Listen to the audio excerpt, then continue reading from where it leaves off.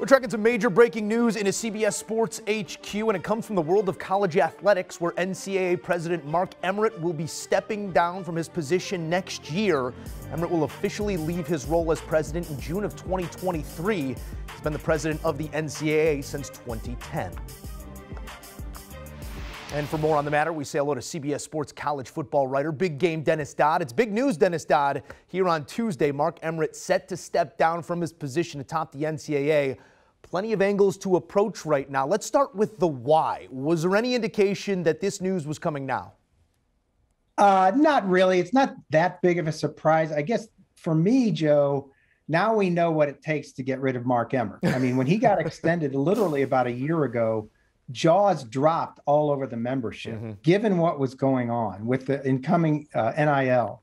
And this after on Ju- July 1st, when you know the NCAA basically became powerless in that space. Uh, but this was last April, with the before the Supreme Court decision in Alston, which rendered the NCAA further uh, more powerless and helpless. Uh, and just over the years, people were wondering why did he keep getting renewed and extended? And it was it was a board of governors that was sort of stocked with his toadies and followers and loyalists that he just kept getting renewed. But now we know what it took. Uh, we t- it took Alston, it took NIL and the inaction on that. It took you know not insuring the tournament in 2020 for enough, where the membership lost what was it, uh, 60 cents on the dollar at the time in the revenue that they got from from the tournament.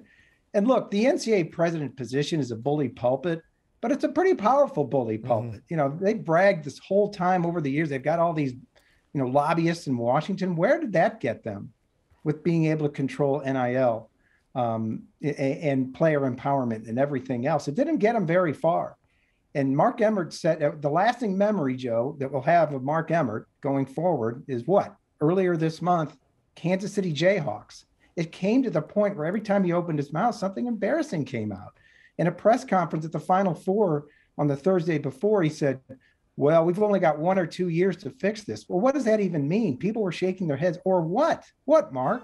That you're going to step down? I guess that's the answer to the question. So, whoever gets this job, uh, it'll be more stable, the NCAA. I think the damage has been done now, where, as I've said on many occasions, the NCAA's lost stat, you know, lost power, lost statue, um, you know, lost its ability to function. I don't even know if there'll be an NCAA in the future if football breaks away. So none of that will change, but it'll be a little bit more stable. I mean, you pose interesting and thought provoking questions here, Dennis. Uh, this 11 year tenure, there was plenty to be critical of. Uh, the BCS 11 years ago was our tournament. The tournament in basketball looked different. We've navigated a pandemic.